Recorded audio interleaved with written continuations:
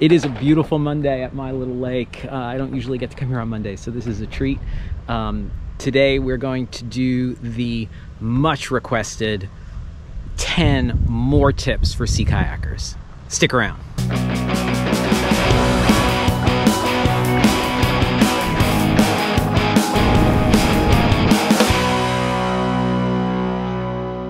So Johnny, guess what we're talking about today? What? I'm gonna need this footage. Okay. Guess what we're talking about today? What? Today we're doing the highly requested 10 more tips for kayaking, specifically sea kayaking. Isn't that exciting? That is exciting. You don't seem very excited. I. This is the face. That's it. That's that's as excited gets. Yes.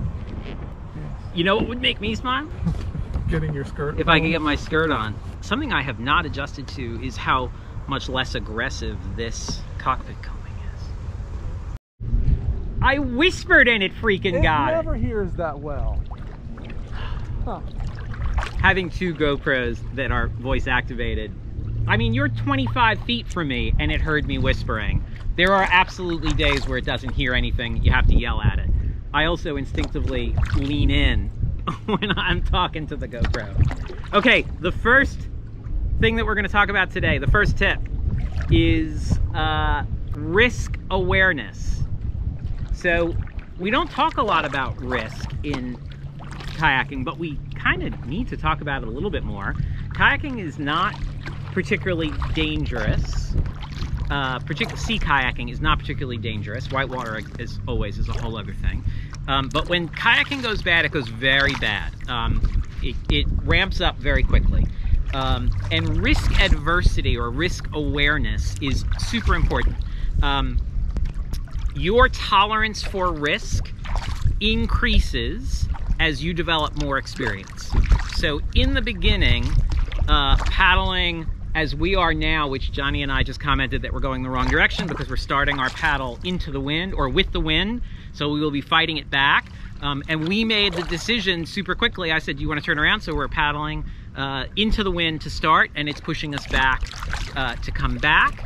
Uh, do you want to turn around so that we're doing it the way that we're supposed to be doing it? And he said, no, it's really light. We can handle it. That right there is, is looking at risk factors and making a decision based on the factors and your ability to deal with those risk factors. So Johnny and I are both very comfortable paddling in wind. Um, as you can see in the video up here, which is probably two years ago, Johnny asked to go specifically paddling in high wind to get that experience level. So we're super comfortable paddling in wind. This is a relatively light breeze. I was half joking when I said, do you want to turn around? But you have to go through that decision-making process to get a feel for uh, how, how much risk you are comfortable handling. And if you're paddling with people and you are not comfortable with the risk, the level of risk, you need to talk to the people you're paddling with and make changes until you are comfortable with that level of risk, or you need to not paddle. But you need to voice those fears. So um, in dealing with risk, you need to sort of get a feel for your level of comfort at different levels of risk, and you need to communicate that risk comfort level with the people you're paddling with. Sound good? Sounds good. Okay. Okay. Allow yourself a little luxury. I, when I'm doing big trips, I pack in uh, whiskey in an Alpine bottle and an actual glass rocks glass. That's one of my little luxury items. And let me tell you, there is nothing better than grabbing some glacial ice as you're paddling into a beach having, when you're done setting up camp, a whiskey with thousand year old ice in it. All right, it's exactly, this tastes exactly the same as a whiskey on the rocks with not thousand year old ice, but hey, it's cool. It's thousand year old ice. It's super cool. Um, I packed in pillows a million years ago and everyone made fun of me and now everyone packs in a pillow. Johnny, do you have uh, uh, luxury things that you bring on trips that you really like? Oh, the inflatable pillow. the inflatable sure. pillow. Yeah. Uh, yeah. Yeah. That's it. Well, I always take whiskey. Always take. But do you bring a rocks glass or do you bring like? I, I do not. Yeah, I pack actual glass. Yeah. I mean, I'm super careful with it. I pack it really well, but so allow yourself that sort of a little luxury, and that's the beauty of, of sea kayaking and kayak touring is the boats are big enough that you've got space for that stuff. If it fits through the hatch, it can go. So a little luxury is a nice thing. Big cozy sleeping bag, pillow, your pajamas. I guess that's it. This partners a little bit with the risk thing, which is if you think you're gonna need it, it needs to be reachable. And the more important it is, the closer it needs to be to you. So obviously I have a knife here. Inside this pocket, I have a whistle. I have, on big trips, a compass, uh, power food, things like that. This pocket can get in the way a little bit, but for the most part, it's pretty good. Um, inside the cockpit, I will have water, uh, I'll have my VHF radio, I'll have a first aid kit at my feet so that I don't, I'm not gonna need it a lot throughout the day, but if I need it, it's there and I can get to it. Um, now that I have a boat with a day hatch in front of me, I have to figure out what's gonna live in there, but that's a good place for sunscreen, things like that. Not necessarily an emergency item, but easy to get to. Uh, and then even frequently under hatch covers, I will put stuff that I might need access to. So frequently food and stove and pots and pans are right under hatch covers. I have done trips where we stopped halfway through uh, the evening to stop, make dinner with the plan of getting back in the boats to keep paddling. First dinner? Uh-huh. Show me first dinner. First dinner. Uh, so if you need it, it's got to be reachable. I think this wind is worse than we think it is, and I think we're going to be slogging back. It'll be a good workout. It will be a good workout. Because we are taking it easy right now. We are, and that's what made me think of it. Is I'm barely paddling and looking at the land. We're moving pretty quick. It's picked up. okay, next I want to talk about cars on roof racks. So the first thing is uh, if you're putting your car, your cars on roof racks. Did I say cars and roof racks? Next, I want to talk about kayaks and roof racks. If you are getting on a highway with your boat in a roof rack, don't do the bow and stern lines to the grab handles. It'll put a tremendous amount of wear and tear on those, shortening their life. What works really well is a climbing sling wrapped around the boat with just a simple slip knot, and that's what you're pulling down to the car with. Um, that way also it's holding onto the whole boat, and it's holding onto the boat in a thicker point instead of right at the tip. Um, and that works really nicely. Um, so it lessens the amount of wear and tear on those handles, and at some point we'll do a video to talk about what those handles are really for. They're not, believe it or not, for lifting your kayak, but that's a whole other thing. Uh, the other part of this, this is two tips in one, both about roof racks. If you have, if you're in a car and you have cradles on one side of your car, consider putting them on the passenger side so that if you are ever parked on the side of the road and unloading your kayak, you're not doing it standing in the street. Far safer, you can take your time tying it up and things like that, and you don't have to worry about a car coming by and taking your door off or taking you off. So that's two tips about car. Let's go through here and make a right and see what that's looking like today.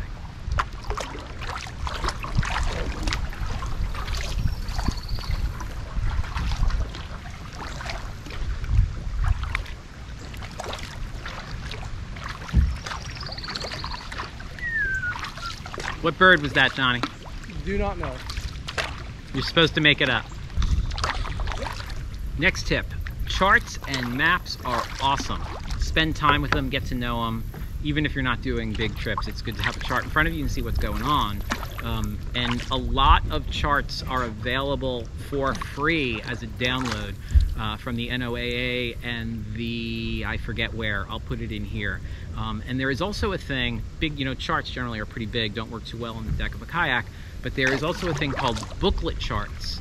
And booklet charts are the same big charts cut into eight and a half by 11 pieces, and you can print them out on waterproof paper and have them right here in front of you. It works really well.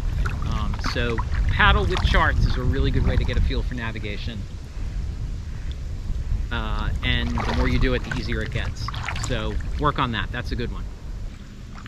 The next tip, the best paddle clothing is not necessarily paddle clothing. And so with the exception of my dry suit, the clothes that I paddle in are not designed for paddling. I used to use an expensive paddling jacket before I would use a dry suit and they just, they don't breathe well uh, and they're hard to work with. Johnny, what's that white guy over there? Egret. I don't usually see them up in trees. So I got a, I got rid of the paddling jacket. I actually think I gave it away to someone, and um, now I just use a rain shell jacket as my paddling jacket, and the one thing I miss is waterproof cuffs. That would be nice. Um, but the rest of my paddling gear are quick dry tops, hats, things like that that are not paddle specific. So you probably already have most of the gear that you need to go paddle all winter. Um, you know, with the exception maybe a dry suit or a wetsuit if you choose to go that route. Which brings me to my next tip, which is do not stop paddling when it gets cold out. Um, the beauty of paddling in the winter is that it is quiet. It is getting very shallow here. Uh, is that it is quiet, no one is out. It is absolutely beautiful. I am still working on the goal of paddling in falling snow, which I have not been able to make happen here in uh, North Carolina. And so that's why I'm relocating, just so that I can paddle in falling snow. Um, but it is an amazing time to go paddling. So, so paddle in winter, it is totally worth it. We were actually last winter back here in this same spot and it was frozen over. Yep. Was that last winter or two winters ago? Last one. Last winter. Paddle in the winter. It is so worth it. Think I can get through here? Yep.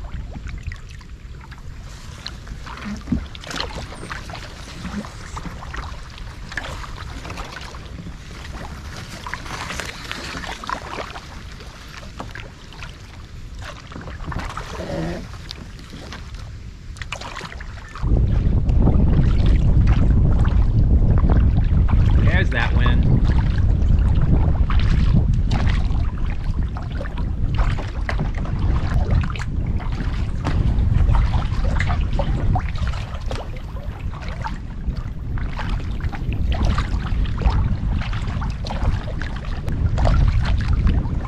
The next tip, sit up straight.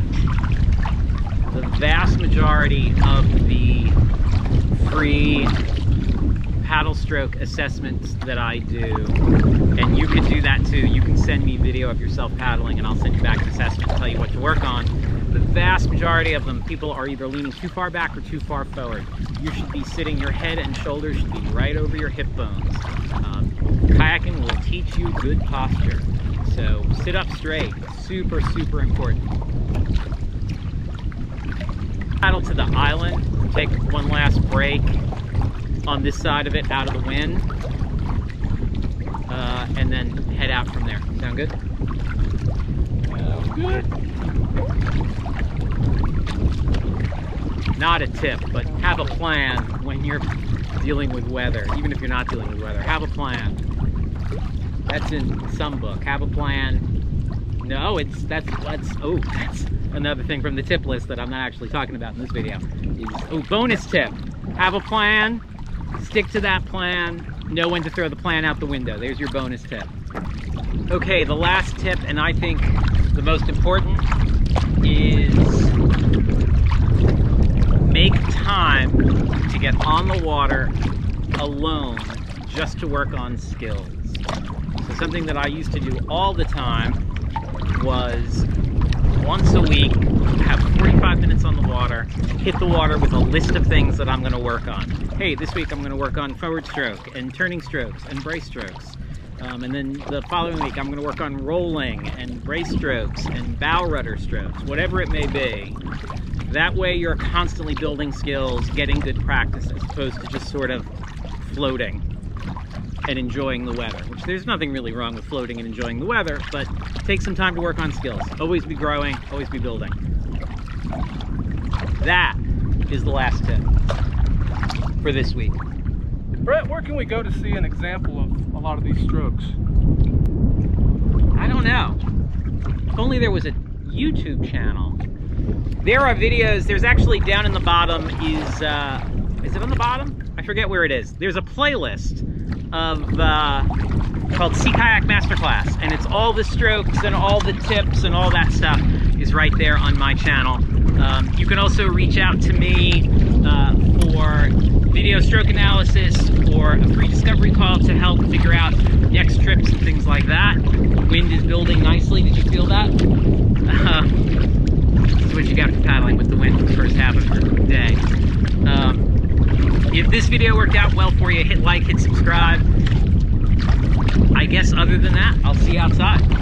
I have to shoot that someplace else so I can put my hand over it. GoPro, stop recording.